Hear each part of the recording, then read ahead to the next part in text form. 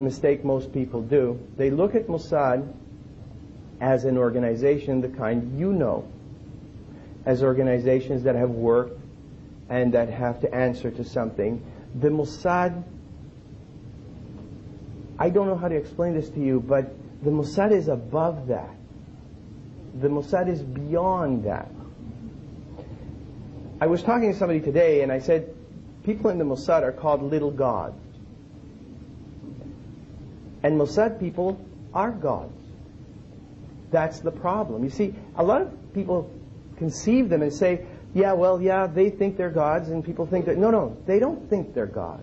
They know they're gods. That's where their power comes from. They can do anything they want, and nobody will stop them.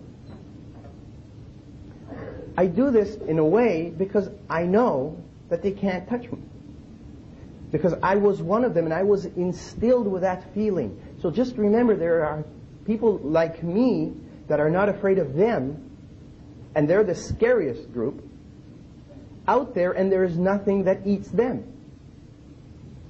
I mean, there are animals in, in the wild that multiply and nobody can touch them because nobody can touch them. And the only way to stop them, and which is what we're talking about here, is to cut away their food. And they're feeding on the U.S. And the only way you can stop the Mossad is stop the money going to the Mossad. Now, when you stop the money going to the Mossad, that's not enough. You have to stop the people from buying drugs in the U.S. because that part of that money also goes to the Mossad. So you got a bigger job in front of you than you can imagine. And you should think twice if you want to take it. Because you're